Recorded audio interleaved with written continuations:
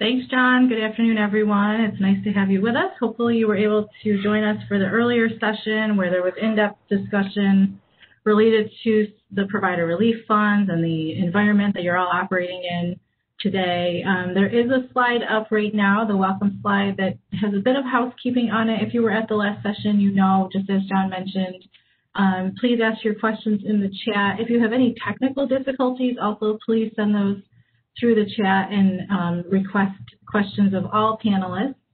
And um, with that, we'll get started with our discussion over the next hour or so. Um, as John mentioned, I am Amy Josek. I'm a partner here at Bonadio in our healthcare group. And John and I work with a variety of healthcare systems, hospitals specifically. You are in the hospital breakout session. So if you intended to go to the FQHC session, you're in the wrong session. and I don't know how to help you, but um, from looking at the attendee list, it does look like um, many of you are part of hospital systems, so we're very glad to have you here today.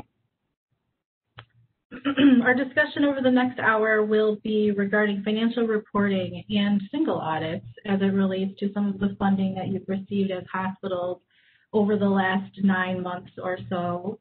Um, we'll focus primarily on the Provider Relief Fund, and John and Margaret did a great job earlier today summarizing the specifics of compliance and what we know as of today, December 11th, uh, for the Provider Relief Fund. The discussion over the next hour will be more focused on how to account for it and why, considerations related to financial reporting, and um, also considerations related to single audits or compliance audits.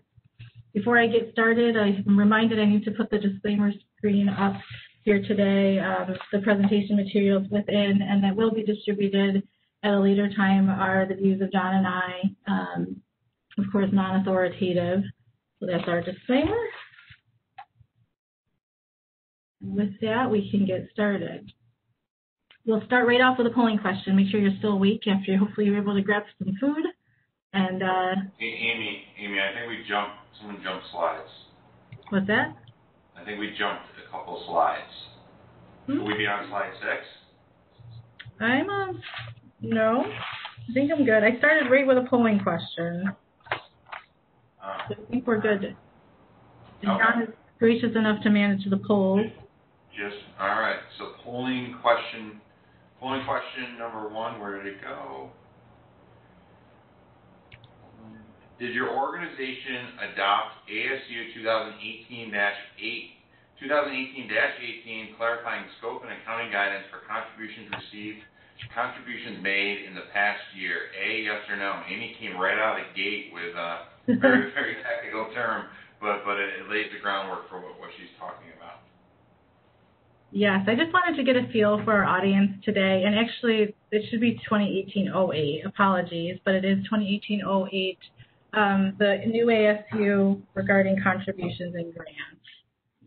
And while you, you um, answer that polling question, I did want to start the discussion today with consideration of this ASU. Um, hospital systems may or may not have had to consider this. It's a new ASU required to be adopted by most systems and organizations, nonprofit organizations last year. And it really um, is a standard that was issued to be a companion standard for, my screen here, a companion standard for the revenue recognition standard. So ASC 606 was revenue from contracts with customers. Many organizations did adopt that standard prior to the pandemic. Of course, the pandemic occurred and the FASB offered a delay for organizations that hadn't adopted ASC 606. But that's not the um, intention of our conversation today. Really, we wanted to discuss the details of this ASU 2018-08 because we believe that this is the accounting standard that will govern your accounting for the provider relief fund. So if we peel back the onion a bit and think about ASU 2018-08, I mentioned it was a companion standard to the revenue recognition standard for contracts with customers. And the reason that we believe the FASB issued this standard, which really is a clarification, is because when you consider government grants that were received in the past and general contributions, so if you have a foundation with your hospital, you're accustomed to receiving contributions from donors, but uh, nonprofit organizations receive revenue and record revenue that are not exchange transactions under the definition of ASC 606. ASC 606, of course, as we know and we've talked about for many years, has a concept of being, needing to meet a performance obligation, which um, is, it incorporates an element of exchange, but nonprofit organizations also recognize revenue in non-exchange transactions. So the FASB thought that they needed to clarify the accounting really to be able to remove contributions and grants from ASC 606 and offer a framework for accounting for them um, under this new standard. So uh, 60, the, the new standard, the 2018-08 standard, introduced a couple of new terminologies and new words, really. Um, the first is this concept of commensurate value. So when considering funding that's being received by your organization, when you're doing the smell test to determine if you fall into revenue recognition under contracts with customers or under this ASU 2018-08, um, are, are both, is there an exchange of commensurate value?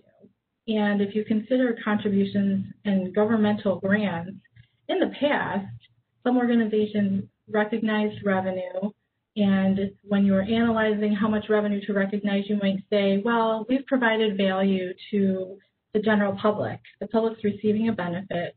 So as I receive those governmental funds and I use them um, as, as they were intended for the, the benefit of the government, it's some type of an exchange transaction. So therefore, I'm going to recognize revenue as I earn it under the old terminology.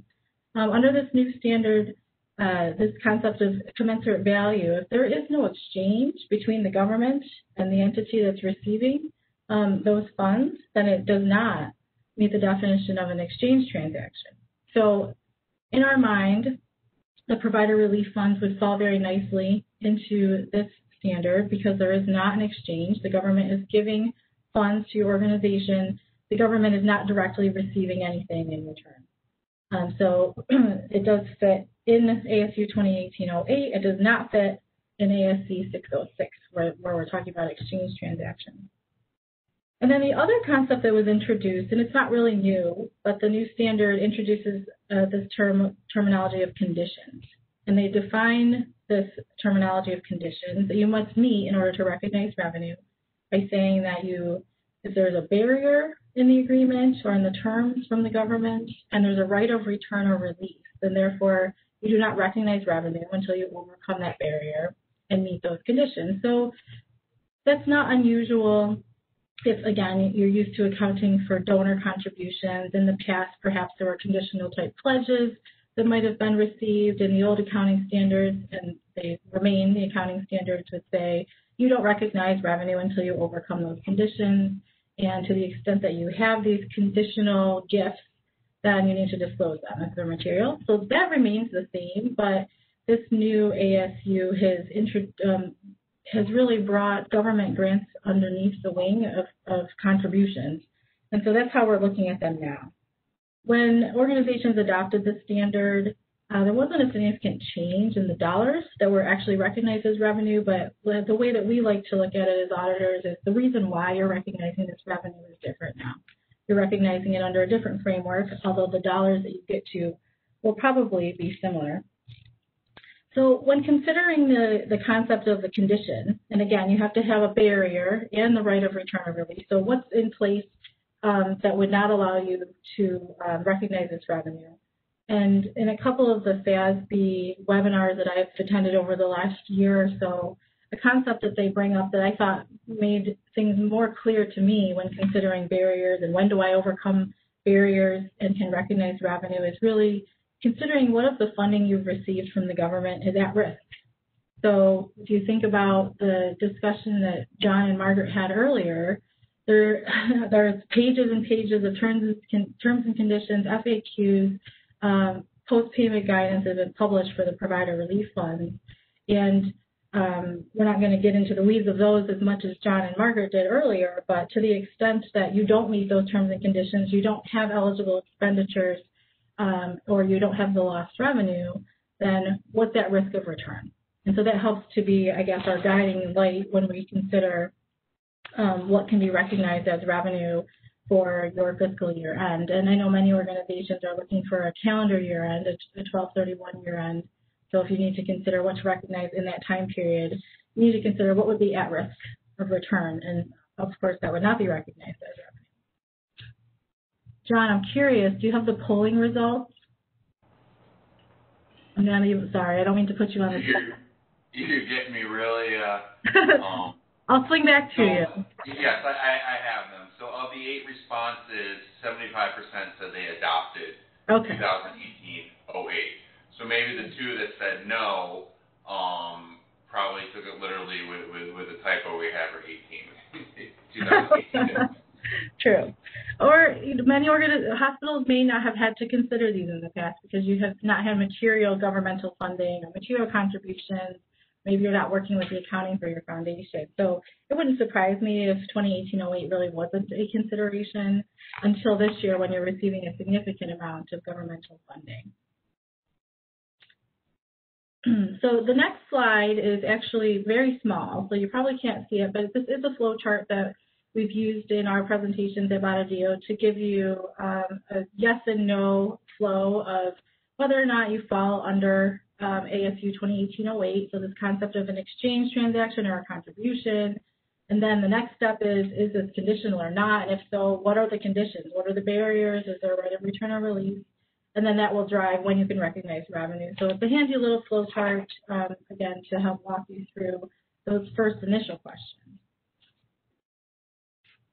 So now we've established that this funding, the provider relief funds, would be recognized under ASU 2018-08. Um, certainly there are barriers in place, as I've mentioned. Um, John and Margaret went into much more detail. So again, when you're considering as of your year end, what can we recognize as revenue? You have to, and, again, some of the um, terms and criteria under the provider relief funds are still being uh, finalized or clarified, I should say. And I know Margaret and John had spoke to a lot of questions that have come up over the last month or two, and we don't have answers for some of them. So if you're trying to come up with a calculation to support the revenue you're planning to recognize as of December 31st, it seems that it's still fluid. Uh, I, you know, this gets away from financial reporting, but we do believe that once the reporting portal is open, that they will hopefully clarify some of the questions that we have that may change your calculation when you're trying to aggregate your expenses or to calculate the lost revenue year over year. But in short, when you're considering accounting for these, once we have a, a firm understanding of all of the regulations and you're, you're compiling your 1231 financial statements, you need to determine what barriers have we overcome, what expenses have we incurred, that's a barrier to overcome. Do we have lost revenue for 2020? That's a barrier to overcome. Have we done what we needed to do um, uh, in order to overcome any other types of barriers? And if so, then you've overcome those barriers, the revenue is not at risk of return, and you are able to recognize that revenue.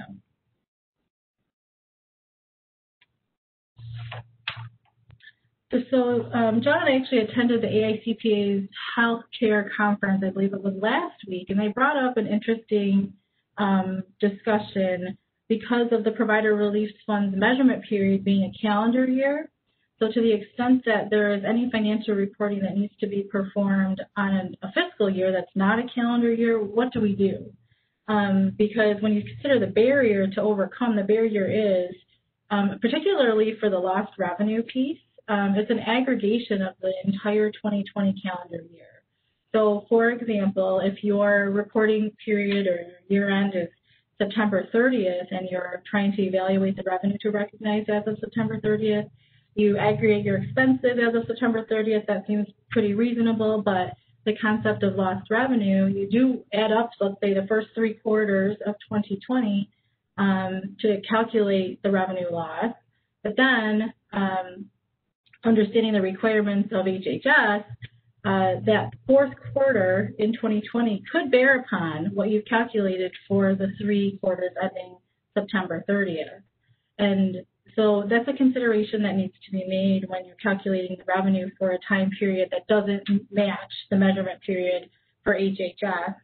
And it was interesting in this AICPA conference because again, we're, we're, we're relying on and leaning upon ASU 2018-08 to recognize this grant revenue but ASU 2018-08 does not really give any um, guidance for variable variable consideration. So consideration revenue that could be subject to change. And so the um, presenters at the conference discussed the fact that when guidance does not exist for this particular um, instance, then it's reasonable to analyze, um, to analogize the uh, situation with other existing guidance. And so they drew, drew upon ASC 606, revenue from contracts with customers, which you've um, adopted that standard, you know that there is discussion of variable compensation or variable consideration uh, in that standard. So in this instance where perhaps you do have an off year reporting that you'd want to determine, okay, we can calculate what we know as of 930 2020, but we know that perhaps whatever occurred in that last quarter, calendar year, can bear upon the total amount of income that we should be recognizing. Um, because, you know, perhaps you actually had a gain in, in the fourth quarter um, when you calculate the HHS's reporting requirement. Um, So they did say that it would be reasonable to use other uh, guidance that's out there in the absence of specific discussion in this standard. And the, the variable consideration discussion in ASC 606 does mention that um, you would constrain your revenue. So if something happens after year end that would bear upon what you've already calculated um, as of 930 in this example, then you would actually adjust that, constrain your revenue, reduce it um, for the 930 reporting period. Amy, I, well, I got a poll question, so I'll launch the poll and then I'll, I'll add my uh, commentary. Um, did your, oh, sorry, Made me go back.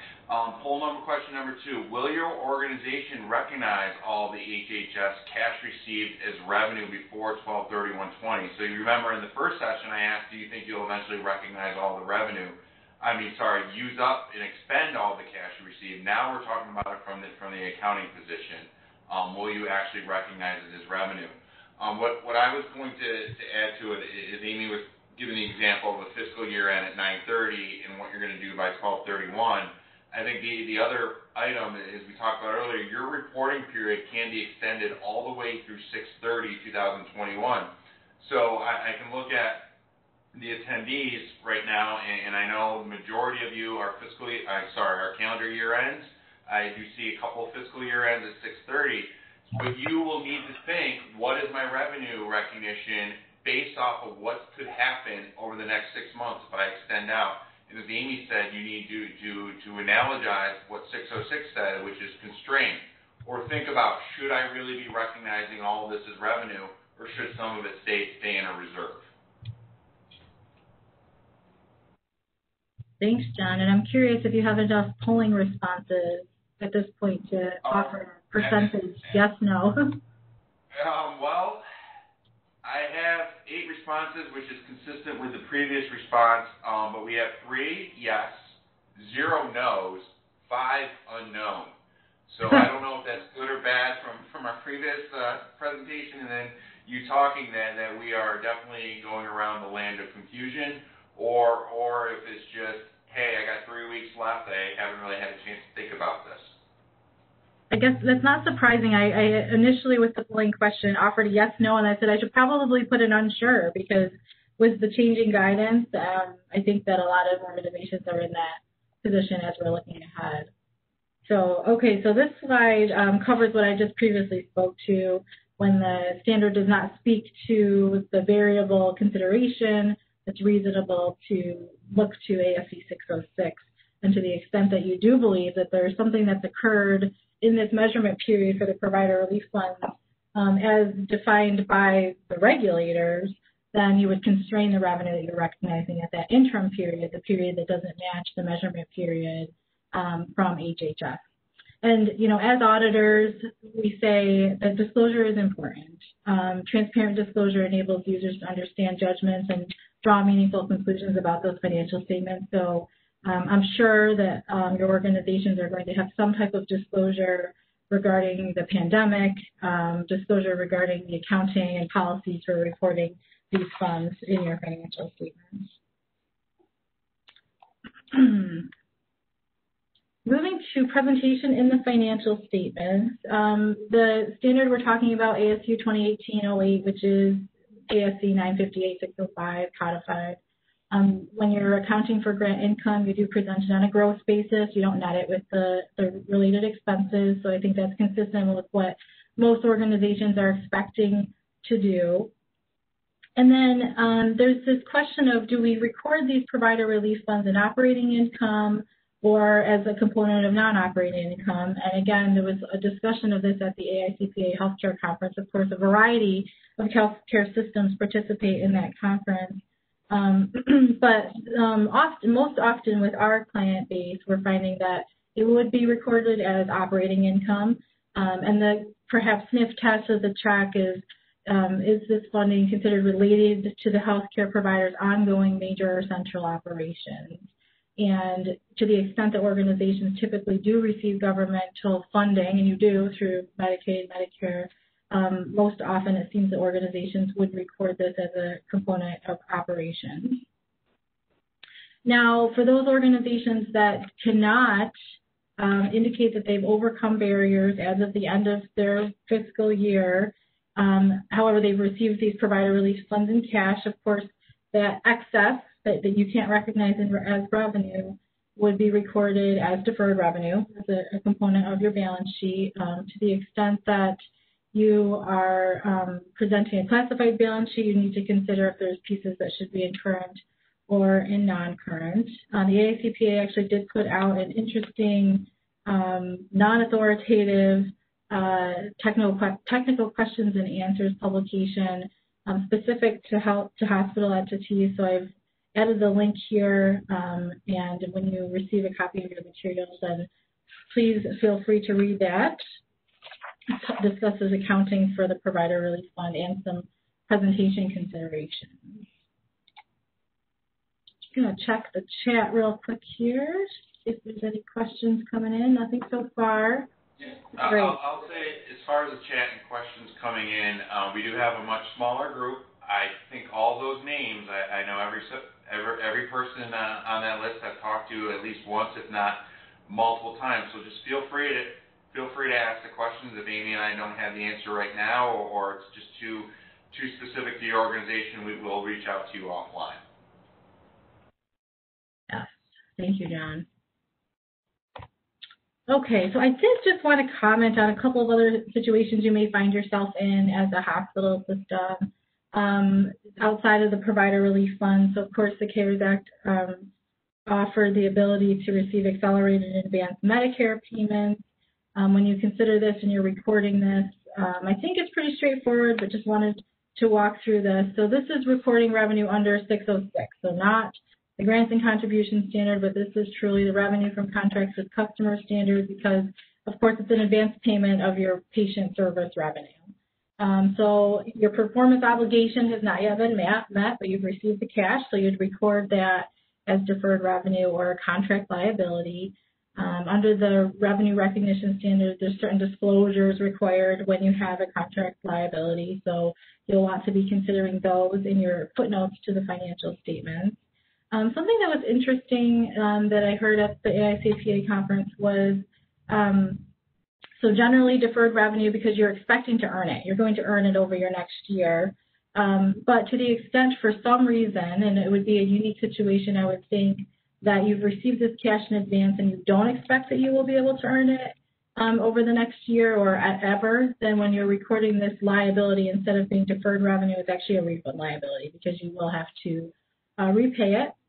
And again, if you offer a classified balance sheet um, in your financial statements, then you'll need to consider the current versus long term. And that could get a little bit complicated because it's, you know, as, as of now, um, expected to be repaid through your future uh, reimbursement and billing. So you have to do some sort of an estimate to understand um, what piece would be considered short term versus long term. And I've also, I don't have the link here, um, but there's another AICPA technical questions and answers bulletin that was issued that speaks specifically to um, the advanced and accelerated payments. Couple other things that we're seeing um, as in our travels as we work with our hospitals, of course, deferred payroll taxes, you know, not complicated to record those as a liability. Again, consider your current and long-term portions on a classified balance sheet and in your disclosures. And then John and Margaret have already spoken to this, but um, HHS itself, of course, has said that they're the, the payer of last resort. FEMA has said the same. But when it comes to accounting, and John alluded to this as well, um, you can't use the same barriers or the same expenses to satisfy barriers under different funding streams. So to the extent that you're using the dollar that you paid someone to um, apply for forgiveness for a PPP loan, you can't then go back and use that same dollar to aside the barriers under HHS funding. That's this whole double dipping concept because, of course, um, just conceptually, you'll be then recognizing revenue twice. You're double dipping. You're not allowed to use that same dollar to overcome two different barriers in these situations. Okay, another polling question already. All right. Did your organization receive under 750,000 in stimulus funds, over 700 or, or over 750,000 in stimulus funds, and it's going to set the table um, for the, the, the next question. And while we kind of wait for some of the, I'm sorry, not the next question, the, the, the next part of the presentation, while we wait for that to come in, um, come in, as Amy was talking about, multi, you know, there's, there's more than just the provider relief funds, there's more than just PPP and it is a little bit of a humble brag, but one of our partners went through and created a 58-page document based on what types of uh, COVID and CARES, sorry, CARES Act seamless funds, and if you answer yes, additional questions will, will um, flow through. For the Bonadio clients, you can expect that's something we're going to be doing during the audit. If you're a non-client and just really interested, like I said earlier, I know all of you. Um, feel free just to reach out to myself or Amy, and we'd be more than happy to work with you on that document. And John, we have a question come through the chat that I guess we should probably look at before we move on to single audit. Yeah, um, I'm kind of laughing because there's this question came in. There's two people here that would, would be impacted. Maybe there's actually three three facilities that would be impacted, but it but it relates to um, how do you meet the barriers on the cost report implications um, for cost reports completed when is it possible? Um, I believe what we're getting at is essentially saying if I have CARES Act money and that CARES Act money is supposed to, to help with, um, that CARES Act money is going to flow up to my cost report. I think um, we're also going back to what Margaret and I talked about in the beginning is we don't know what the expenses are, we don't know what the reimbursements are. Um, how do I basically come over that liability and when are my barriers to overcome? Um, I'll, I'll reach out to the individual that asked it on, um, on Monday just to, to further clarify. But really, what I would say, especially with cost-based reimbursement, and say, well, some of this is changing. Where am I? I know two of the facilities I work with throughout the peer, throughout the year on a quarter, at least on a quarterly basis, you are doing interim cost reports, and, and you should be using your best guess. Um, I look kind of like, well, just because we have COVID, or I'm sorry, we have CARES Act funds and provider relief funds, really, when you're cost-based reimbursed, it is kind of a what comes first, the chicken or the egg. Um, for, for these critical access hospitals, do you need your audited financial statements done and all your expenses done, or do I need the cost report to know what the, the, the revenue is? And there's that there is that whole estimate and what's being constrained and what and, what you're going to hold back. So so I'll follow up with that that person specifically um, to to further elaborate that question with them. Yeah, and John, I think it really does speak to the clarification needed because I know you and Margaret spoke earlier to the fact that there was an FAQ that was released from HHS that talked about um, the uh, the uh, qualifying expenses and do they need to be reduced by um, funding that's already been re- reimbursed. And I think that that's still clear, unclear. So the question that was asked um, is asking about there are cost report implications, and since cost reports aren't completed until after financials are issued, is there going to be any adjustment that needs to be made to the HHS revenue that's being recognized, uh, or is that more of a side implication and a secondary liability?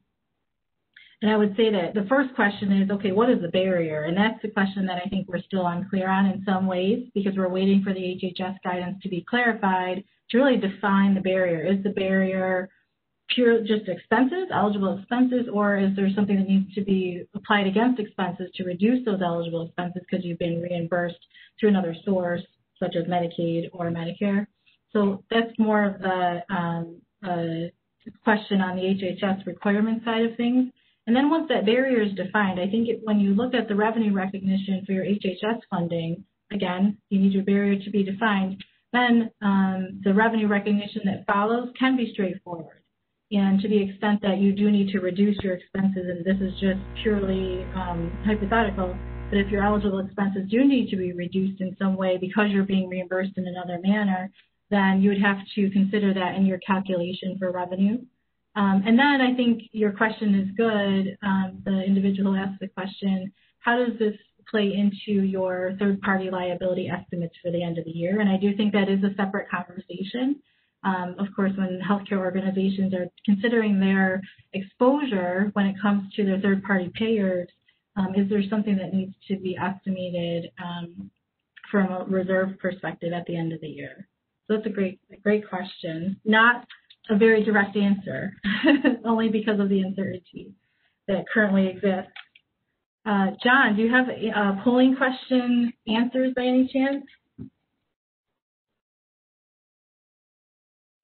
I did. Um, where did they go? Nine out of 14 that responded um, said they had received over $750,000 in stimulus funds.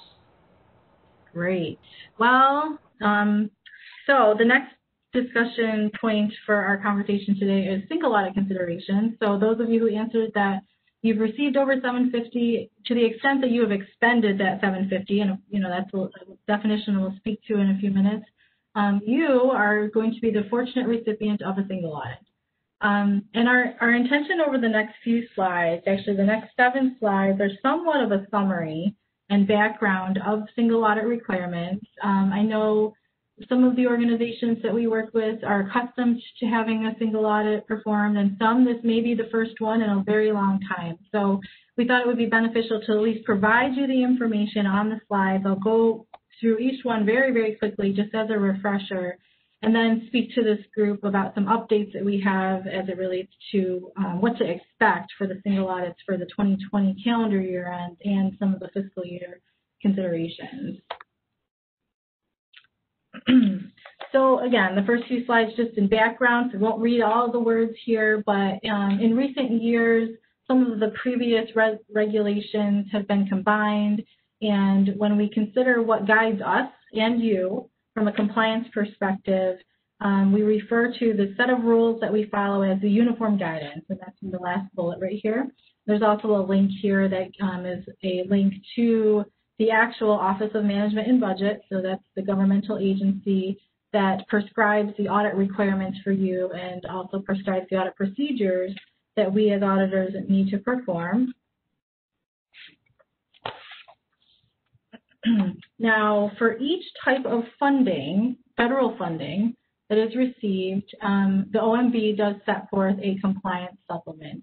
Perhaps not for every specific stream, and if it's not specified um, in what they consider their CFDA numbers, Catalog of Federal Domestic Assistance Number, and the Provider Relief Fund, since we're speaking about that um, today, certainly has a CFDA number. So um, to the extent that a federal stream of funding has a CFDA number, it, uh, the compliance supplement will guide the compliance requirements for that program in addition to other issued guidance. And it will also guide your auditors, of course, for the testing that they need to perform in a single audit. And we've, again, linked um, the compliance supplement that's been released in August.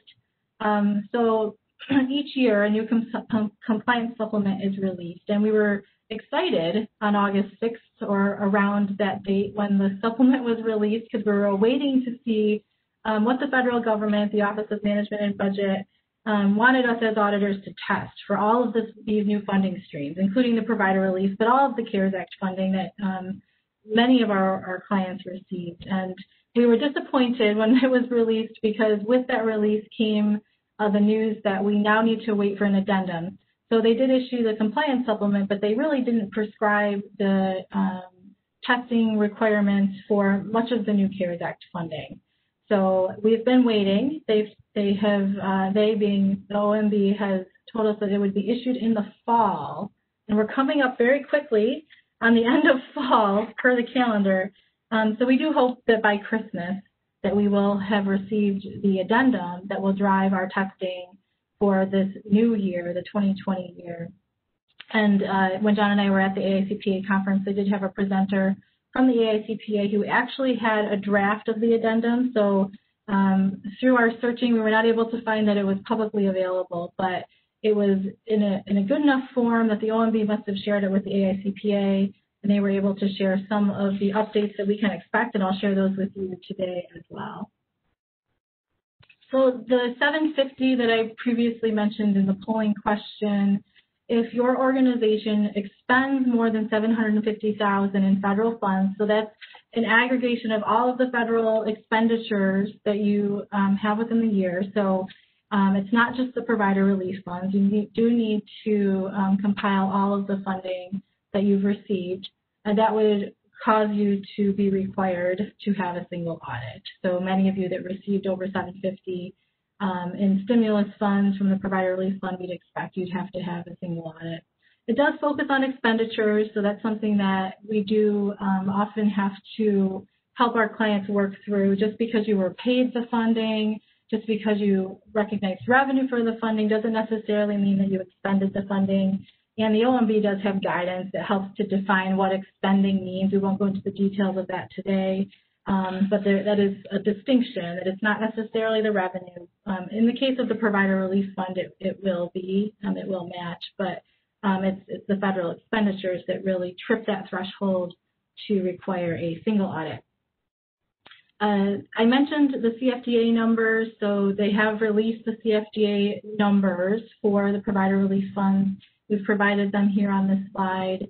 Some organizations may also have received funding under the second CFDA number, the uninsured testing and treatment reimbursement payments. So when you're considering your federal funds that need to be reported and audited through the single audit process, you may have um, several different CFDA numbers through new, new funding received through the CARES Act as well as previous funding you may have received in the past. Um, again, this is a, a summary page. Uh, so the single audit is a compliance audit. It's not a test necessarily of the balances that are reported on your financial statements. It's a test of the federal expenditures that um, you as in your organization have expended for the year, and the government wants to make sure that you've spent those in compliance with relevant guidance um, under the terms of your grant agreements. They also want to make sure that you have an adequate internal construction, internal control structure in place. So through the financial statement audit, we're gaining an understanding of internal controls over financial reporting. How do the numbers that get to your financials, what internal controls do you have over those? But in addition to that, for the single audit, we are also gaining an understanding and testing how, what is your internal control structure over compliance items? Um, we had a very brief discussion, I know, on compliance related to telehealth from Evelyn earlier, but um, we as auditors don't normally need to get into the compliance for a non-single audit. Um, but for a single audit, we'll need to understand and test as prescribed by the OMB um, compliance considerations for these, these, the funding that you've received in the in the current year. You actually issue a separate, we call it a SEFA, Schedule of Expenditure Federal Awards. It's in a very prescribed format um, listed here. One thing that will be new for uh, that includes COVID-related funding is that there's now a requirement that it has to be designated, but it has to say COVID funding in front of the program. You might recall years ago when we had the ARRA funding that that was another requirement. So that's coming back, so it's very easily identifiable, the funding that was received um, through COVID relief. But to the extent that we have findings, so single audit findings, it's very black and white. Um, if you do have an internal control finding that's a significant deficiency or material weakness, we're required to report it on a schedule of findings and questioned costs. Um, to the extent that you actually have um, funding that we find to be non-allowable, um, that's reportable as well on the schedule if it's over a certain dollar threshold. and I think I'm going to be jumping the gun here, but um, just because it flows better, at the end of a single audit, all of the single audit reports which is the financial statements, the SEFA, the schedule of findings and questions costs, and your regular um, basic financial statements are all reported through the um, federal clearinghouse to the federal government. It's a, and we have a link later in the presentation, but it's publicly available. So if any organization in the last couple of years has had a single audit, anyone can go look to see the results of um, their audit, look, can, look to see the federal funds that they've received or expended in that year. So it's much more visible, um, um, the, the single audit versus a financial statement audit. So if you think about preparing for a single audit, I just spoke to the testing that we need to do, the numbers and the internal controls and the compliance. And the thing that we often find is this concept of internal control over compliance is the area that's lacking. So it's different than um, perhaps just your financial reporting internal controls. It may be outside of the accounting and business office, depending on the program um, that you are um, conducting. So ensuring that you can demonstrate to the auditors that you actually have a system of internal controls over the compliance related to this program is going to be very important. Now, for the Provider Relief Fund, it's largely driven by um, expenditures. So the, the controls that you have in place over your cash disbursement cycle would also be dual purpose controls over compliance um, you'll just want to ensure, though, when you're aggregating and gathering your expenses and coming up with that number that you are going to be submitting for reimbursement, um, the extra step really is, okay, well, who's responsible for reviewing that reporting that needs to be made? Who's responsible for ensuring that, yes, these expenditures, sure, they're expenditures, we paid them, but that they're eligible to be reported under the terms of this program and this grant. Um, and there are a lot of requirements to consider, compliance requirements.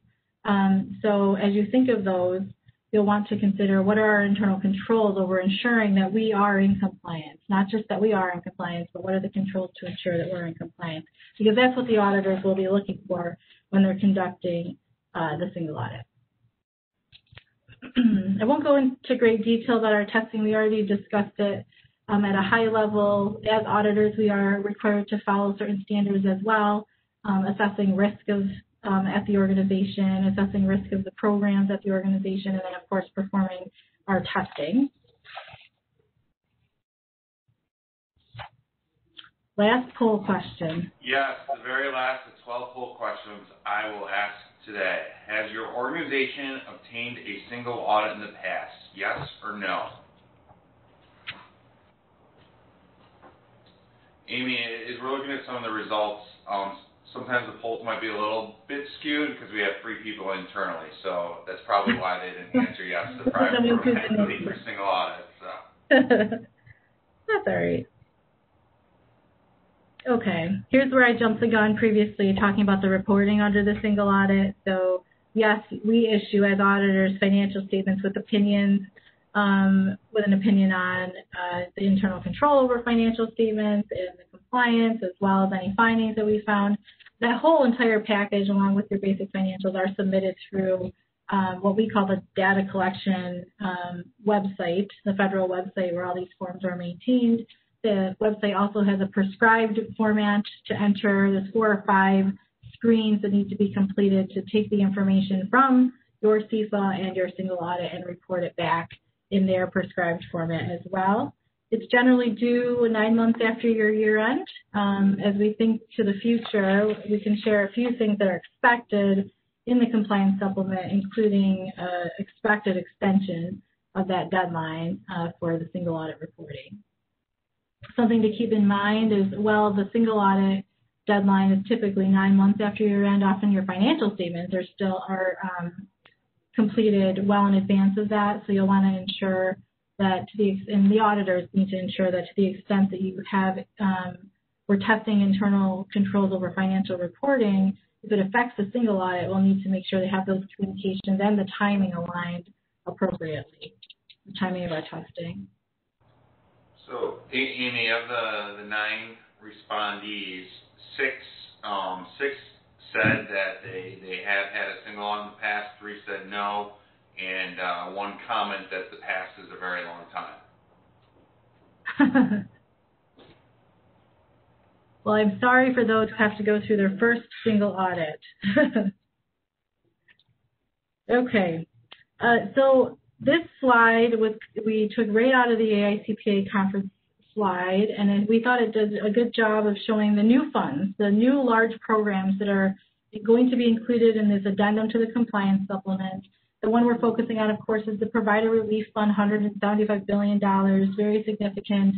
The next largest, um, really, well, the largest is the PPP program. We were very relieved to hear that any funds received through the PPP program are not subject to single audit. So for your hospital organizations, if you received a PPP loan and provider relief funds, only the provider relief funds will be subject to single audit.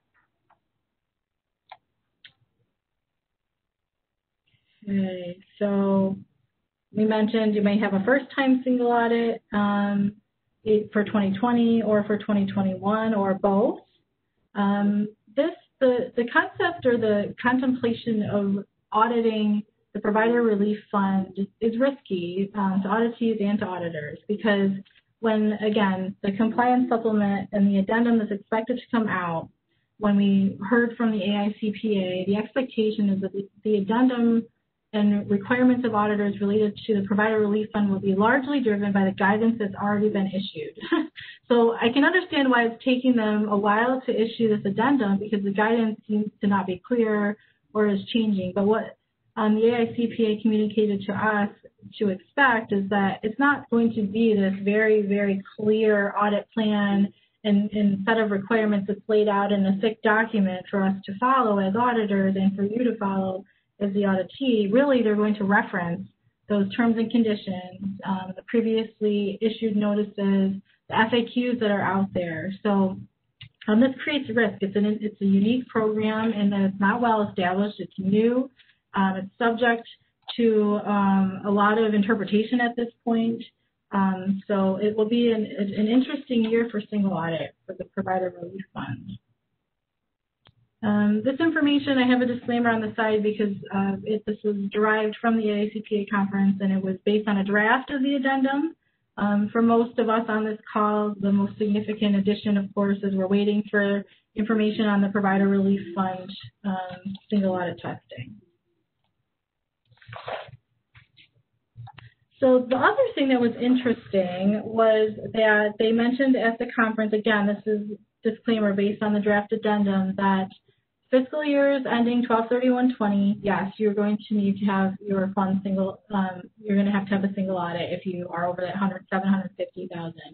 They did say that any um, year end prior to December 30th, 2020, would not be subject to a single audit for their fiscal 20 year end. So 630, 930 um, year ends would not report on their schedule of expenditures of federal awards any funding received in that year they would not be required to have a single audit. Rather, they would include those funds on their next fiscal year single audit. So that was interesting and almost a relief because for those fiscal year organizations that have already perhaps completed their financial statement audit, we're kind of just pending. Do we need to keep looking back to fiscal 20 for the next, who knows, three or four or five, six months, and then undergo a single audit? Um, of course, you'll still need to over undergo the single audit. At the end of the day, HHS is going to want to see those federal expenditures reported somewhere and tested somewhere.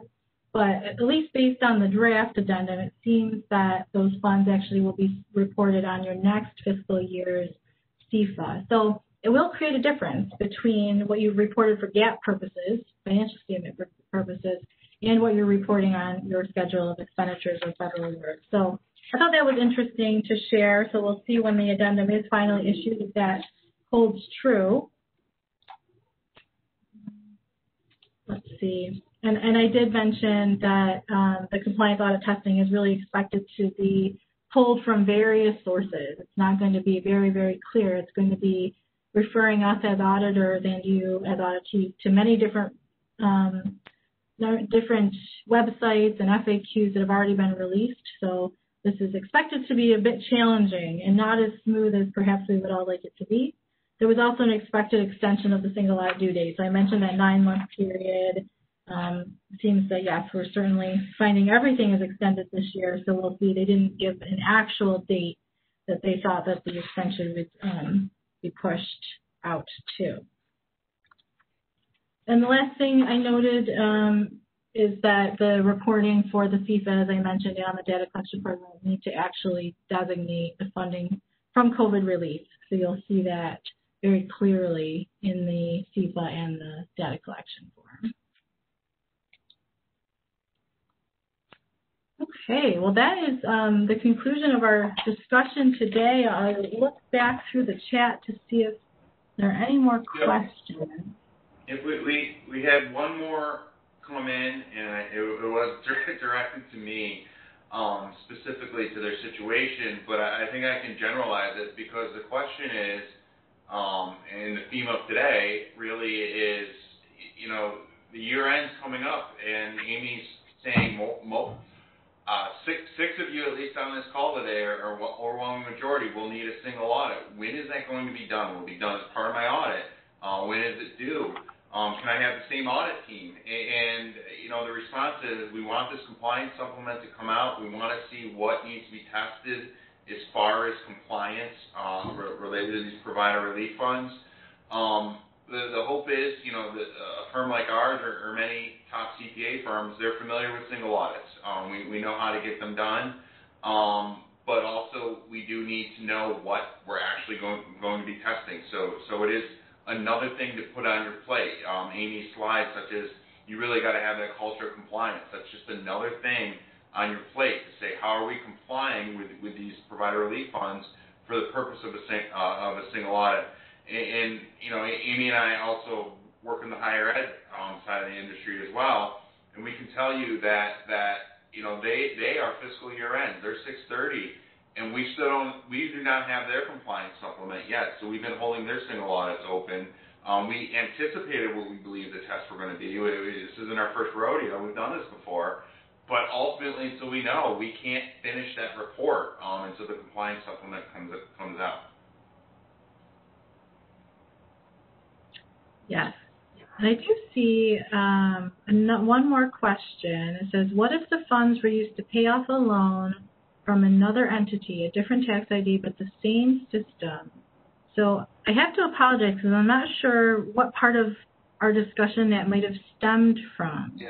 But I, yep, I, I, uh, it didn't come to me, or I'm not seeing it, but, but I will, uh, um, I believe I know who that is, and I'll, I'll, I'll address it with her because that, that oh, Amy, did you? Oh, that is a very specific question, and it's something I've been thinking about this week especially as an update to the provider relief funds uh, came out, one, one of the clarifications this week. So I will speak, I will set up a phone call with that person. Okay. Well, if it's not the person that John thinks it is, because it actually came through our training coordinator, so we can't see who it is. We have our contact information here on this page. We know all of you, so you know how to get a hold of us. Um, so if you'd like to follow up, you know, like John mentioned at this discussion in the previous, we're here. We'd like to talk about this. We're spending time, of course, and investing efforts in ensuring that we understand it so that we can pass that on to you. So I don't see any more questions. There are no more polls. We have about five minutes to spare.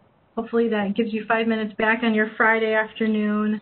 Um, we really do appreciate all of you attending the session today, and we do hope you find, found it helpful. Um, and if you have any follow-up questions, feel free to contact us. Yes. Yep. Thank you. Thank you very much. It, it was a long two sessions combined, but we appreciate it. So hope you have a wonderful holiday season.